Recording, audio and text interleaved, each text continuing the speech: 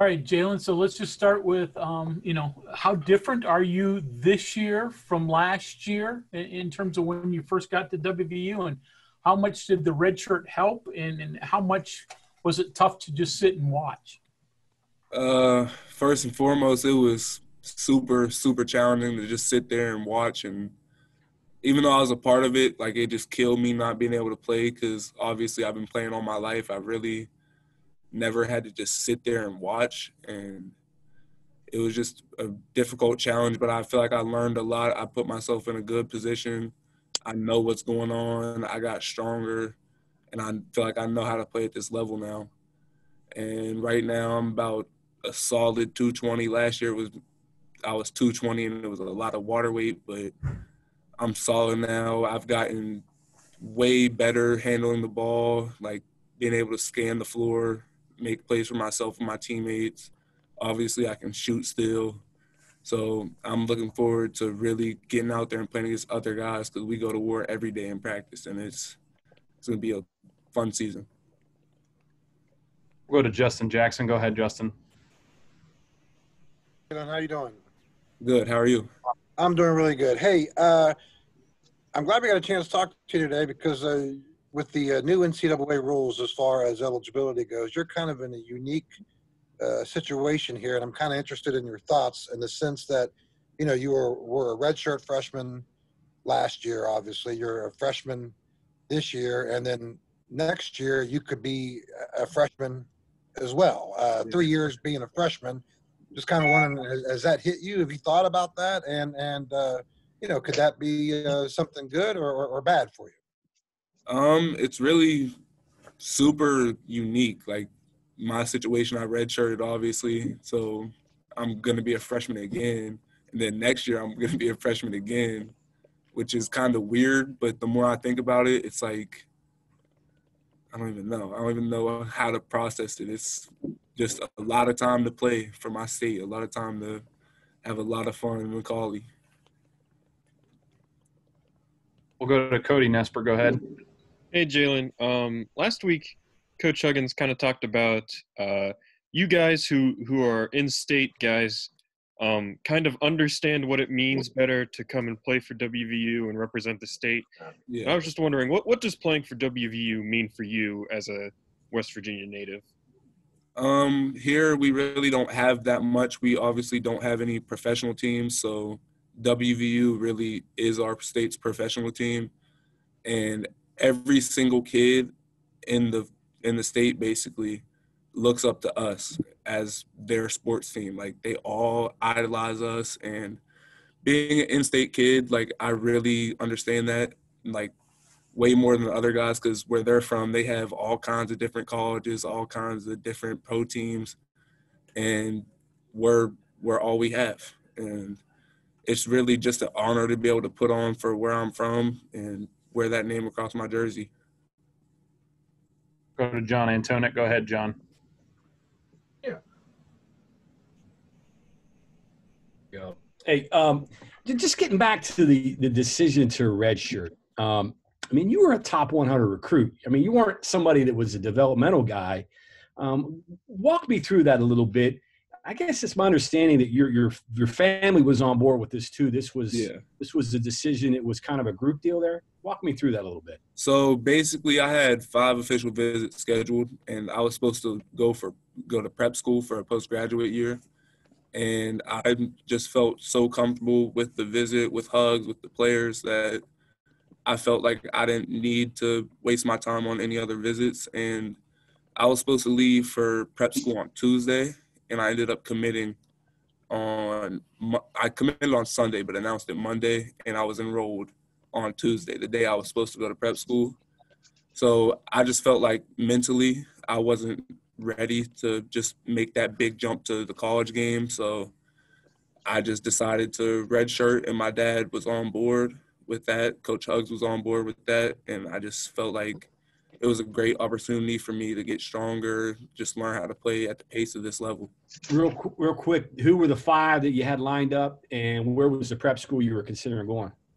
The prep school I was considering going to was Scotland campus in Scotland, Pennsylvania. And my five, I think It was obviously here.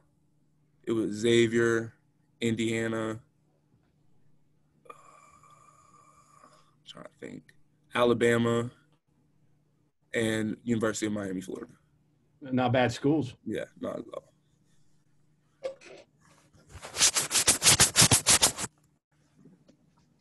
Kevin Kinder, go ahead. Jalen, warming up for games last year, you know, watching you, you know, trying to see what parts of your game you're working on, things like that. What's going through your mind then? Are you warming up like you're going to play? Are you thinking about this year? You know, what, what were those times like for you? Uh, I was just kind of. My dad would tell me just go out like you're about to play, just work on your game because it's just basically time for me to just really just go have fun. Like I might as well get something out of it. So really, I was just trying to work on my ball handling, making dribbles into shots and stuff like that. But also, you gotta kind of have a little bit of fun for the fans, do a couple crazy dunks here and there.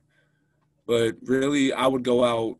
Me and Smacky were typically the first two out there because we just go to the games early because we obviously most likely weren't gonna play in his case, I obviously wasn't going to. So we just took that time to really get some extra shots up and work on our game.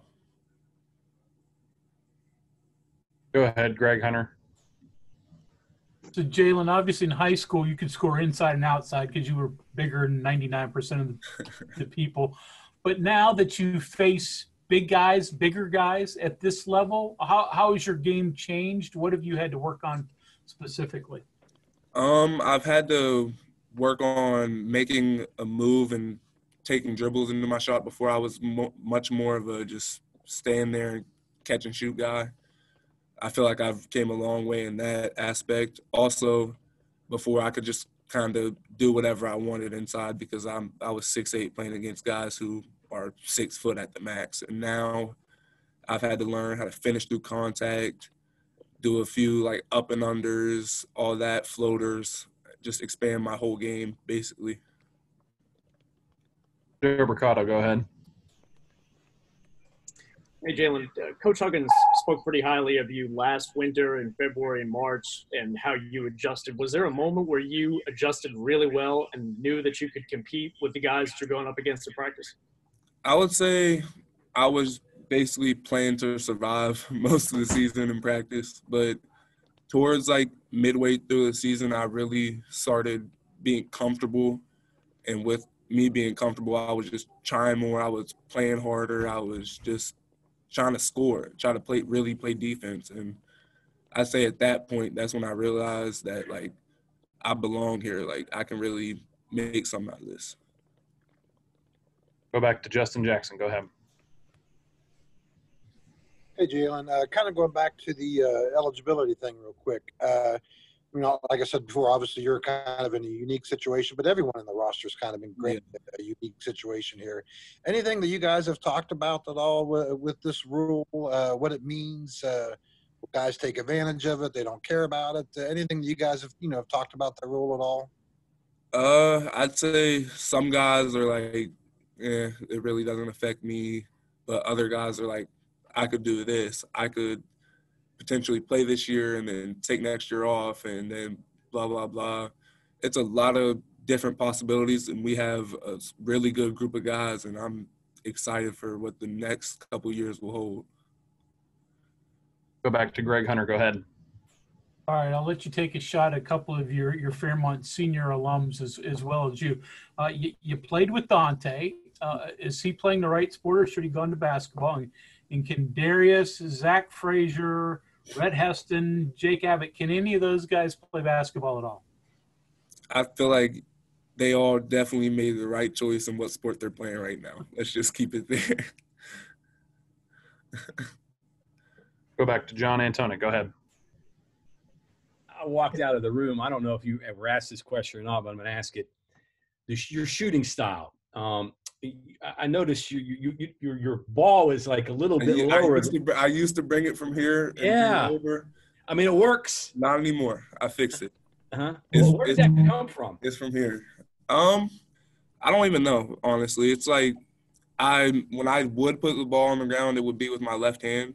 Uh-huh. So I'm just so used to having the ball over here that I would just bring it from here, regardless of if it's catch or shoot or not, and I just shoot it. But now I feel like this whole summer, me and my dad spent working, reworking my form because it was kind of slow. Like it would take a little while to get off, but now it went from here to it's back. Back to normal. Obviously, yeah, you got to get it off quick if you're going to Yeah. shoot it that way. of course.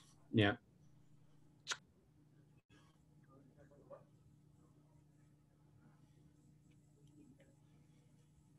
We'll go to Carly Nevis. Go ahead, Carly. What's up, Jalen? Good to see you. Good to see you too. Well, even though my camera's not on, sorry. Um, what do you see your role uh, being on this team? I mean, obviously you guys have a lot of depth, but uh, position-wise, and just how do you see yourself fitting into this group? Um, I'm just looking forward to getting a chance to step on the floor and be a shooter, be a defender, and just provide any type of spark that I can for our team. I just want to be a contributor, no matter start, six man, bench, whatever it may be. I just want to play. Back to Greg Hunter. Go ahead. So Jalen, uh, you mentioned your father there. Uh, have you watched past film of him? Do you realize how good he was, and can he still compete with you? No, he cannot still compete with me. He's scared to play me. I'm just going to put that out there. But I watched his state championship game with the one that they won, and that man was very talented. And I hear a whole lot of stories, but other than that, I've really not seen him play. But he's really made me the player that I am today. So he must he must have been all right. Go back to Justin. Go ahead. Hey, Jalen. Obviously, uh, last season ended uh, prematurely and, and disappointingly for Mhm. for you know a lot of teams out there. Uh, the fact that it is, you know, the the worry and, and the pandemic is still kind of carrying over into this season. I'm just kind of wondering, from a basketball standpoint, uh, from your from you and teammates, what was it like to have that disappointment last year, and then probably you, you thought by by this year, you know, Yeah. be over Yeah. with. Obviously, that's not the case. Uh, you know, there was talk of not having basketball this year. That you kind of take me through that process from the player standpoint. What were you guys worried about, talking about, you know, that kind of thing? Well, for us last year when it ended, we were kind of disappointed because that's when I feel like we really hit our stride. Like we were starting to play great defense. We were hitting shots. We were back to West Virginia basketball, and then boom, just got canceled.